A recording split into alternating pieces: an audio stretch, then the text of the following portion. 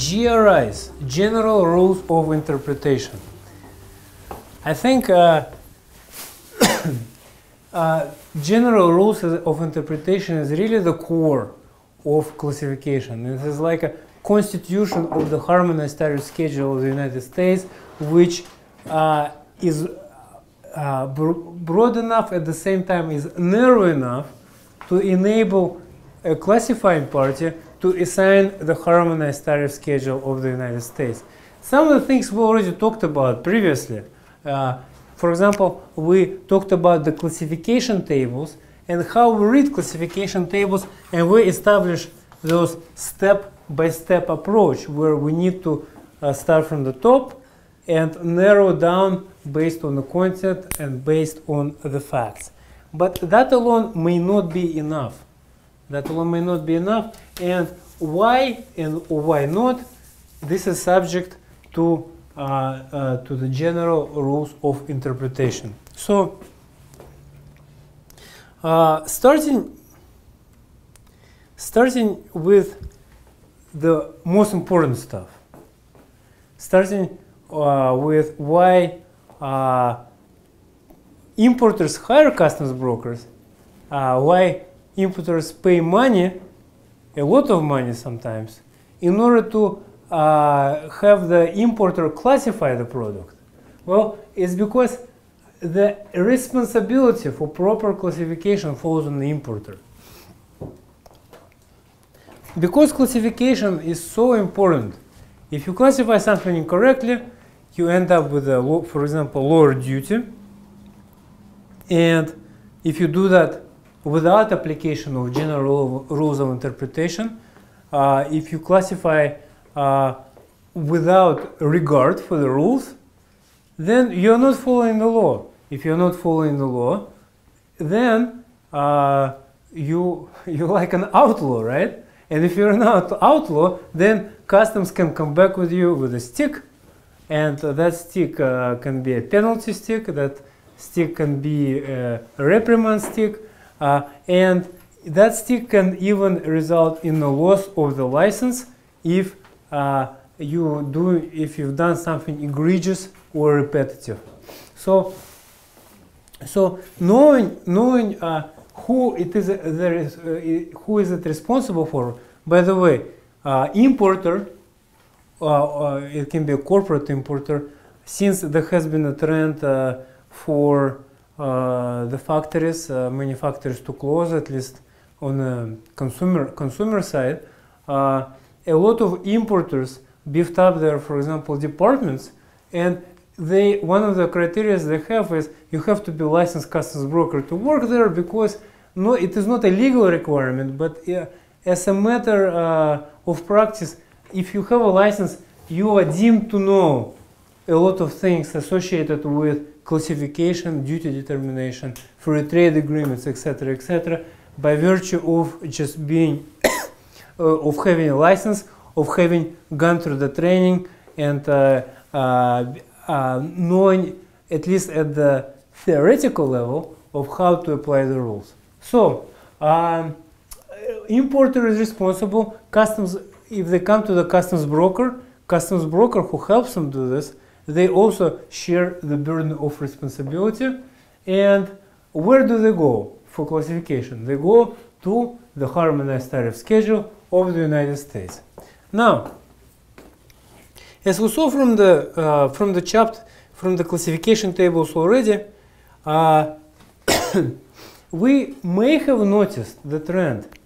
Uh, the trend is uh, that we have we have this uh, tension, and there will always be tension between the classification of the product according to the use and classification of the product according to the make.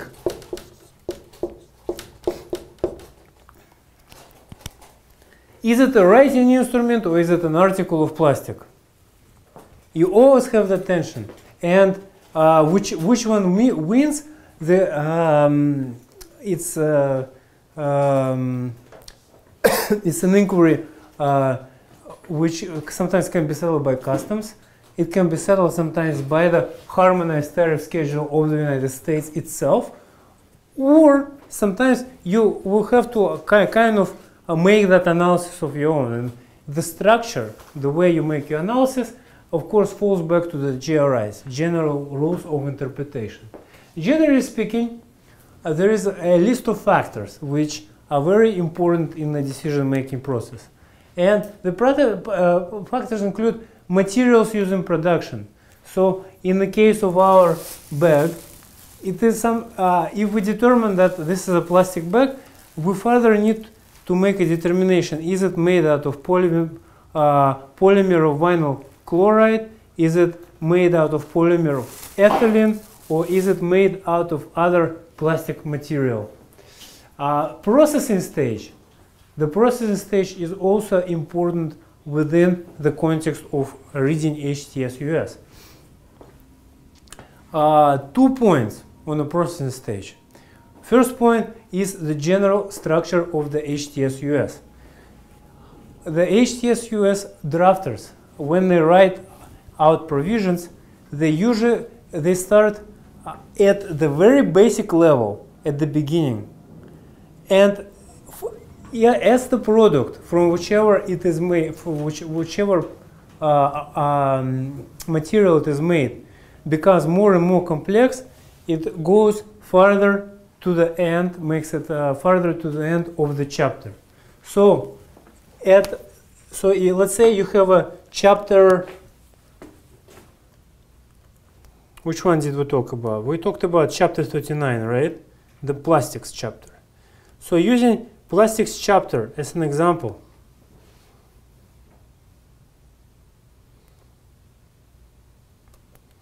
We have we have a starting point where we have primary forms of plastics. We have polymers of ethylene in primary forms. So what can you do with that? This is just a raw product. This is uh, used as an input in the production of whatever it is you are producing. And look where you end.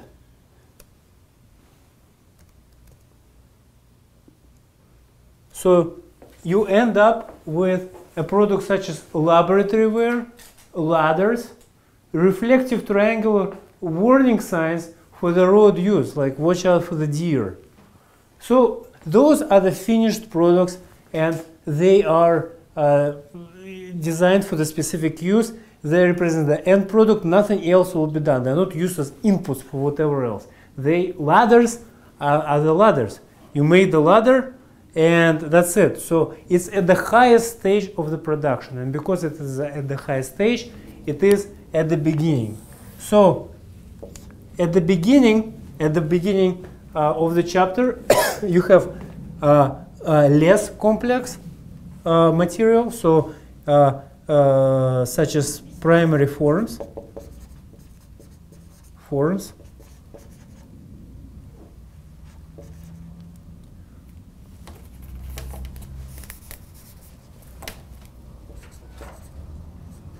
And you finish, as, as, as you move on in the stage, you finish with the more complete product, complete finished good. All right? And you can see that anywhere. So I, I, talked about the plastics.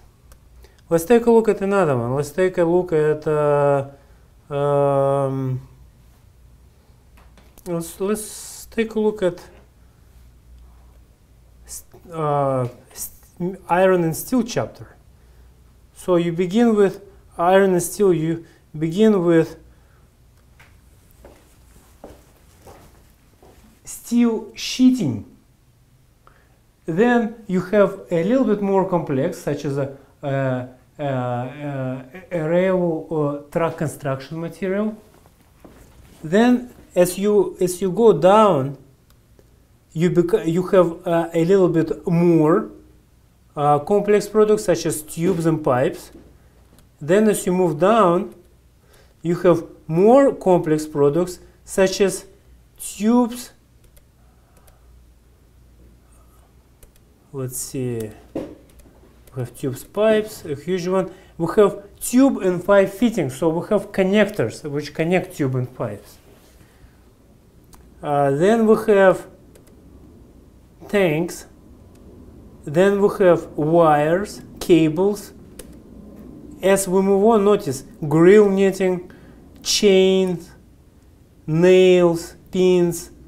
As we move further down, the things become kind of more complex, not a, a, less raw, more worked, more finished product, and you finish it up with, again, uh, with uh, things such as rods for electrical grounding, hangers for the tubes and pipe, fence post.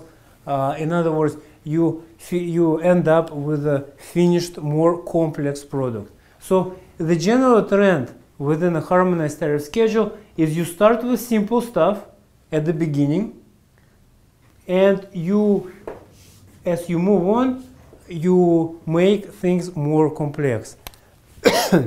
How does it help us on the customs broker exam? Again, going back to the point that we are in a crunch for time, if customs examiners gives us some kind of uh, raw material, such as uh, such as uh, the, the tree log, unworked, that has just been cut, you go to the tree chapter, such as chapter 44, wood chapter, and you start looking at the beginning.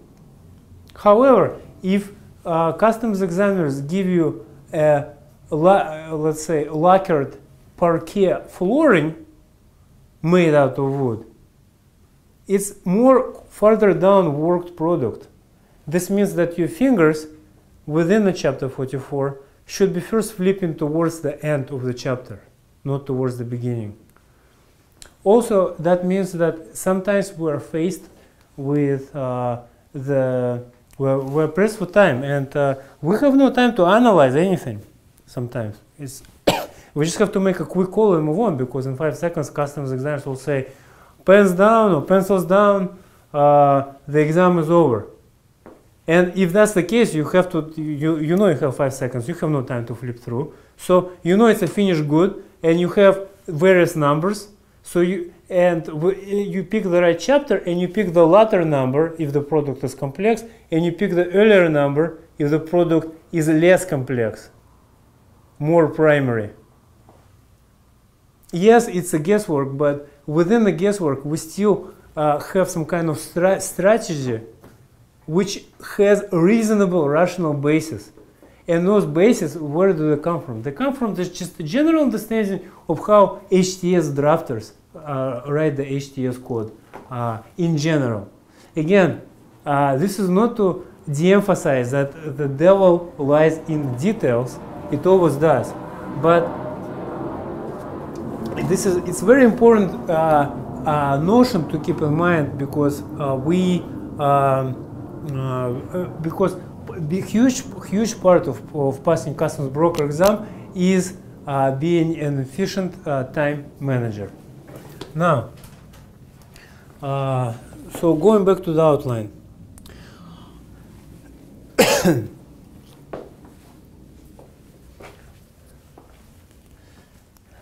so uh, the, the, the processing stage uh, is important as, as, as you navigate uh, throughout the chapter.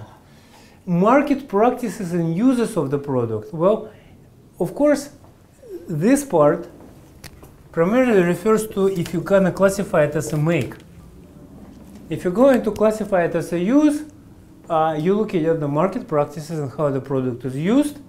So if you have um, um, uh, if you have a stove uh, which you use in home, uh, you classify it as a domestic appliance. If you have a stove which you use in a restaurant, you do not classify as a domestic appliance because it is, it is used in business, for example. So how it is marketed? Can you use uh, the home stove in business in the restaurant setting. I see this sometimes. I uh, there, is, uh, there, there, are various cafes. I come in, I see a cappuccino machine which uh, seem, looks like the one I use at my own home.